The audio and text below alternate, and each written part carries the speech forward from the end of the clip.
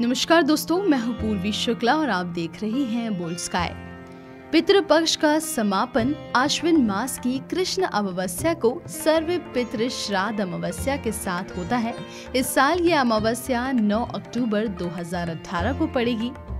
अगर कोई परिवार अपने पितर का श्राद्ध तिथि विशेष को ना कर पाया हो या श्राद्ध की तिथि मालूम ना हो तो सर्व पितृ अमावस्या को श्राद्ध कर सकता है।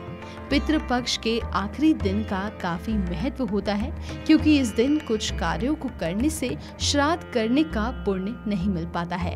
आइए आपको बताते हैं कि सर्व पितृ अमावस्या को कौन से काम नहीं करने चाहिए।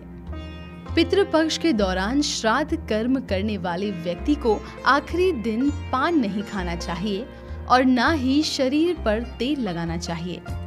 सर्व पितृ अमावस्या के दिन श्राद्ध कर्म करने वाले व्यक्ति को गुस्सा नहीं करना चाहिए। गुस्सा करने से श्राद्ध क्रिया के बाद मिले पुण्य नष्ट हो जाते हैं और साथ ही पितृ नाराज़ होते हैं।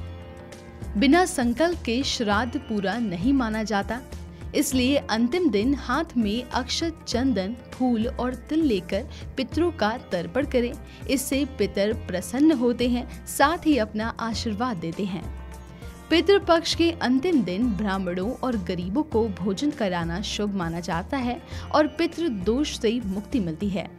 इसलिए पितृपक्ष के समापन के समय इन बातों का ध्यान रखना बेहद ज़रूरी है। इस वीडियो में फ़िलहाल इतना ही। हम जल्द लौटेंगे ऐसी ही जानकारियों के साथ। तब तक के लिए जुड़े रहिए बोल्ड स्काई से।